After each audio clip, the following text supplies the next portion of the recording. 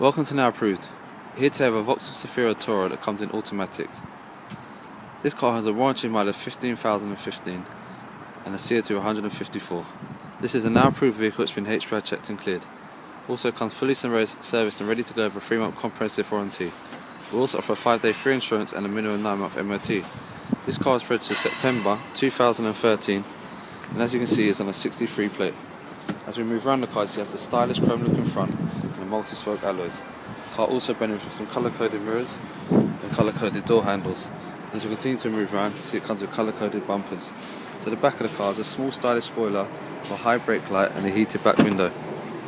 Inside is a good space boot. You can also fold in the back two seats completely flat to make for a larger boot. Fuel cap is located on the driver's side and as we move inside the car, see it comes with a full cloth interior and also has ISOFIX points for child seats. Just to confirm, it's two seats in the back, three in the middle, and another two at the front. So we move to the front, as you can see, it is an automatic. Also has parking sensors. Comes with CD player, air conditioning, and there's also a built-in sat nav.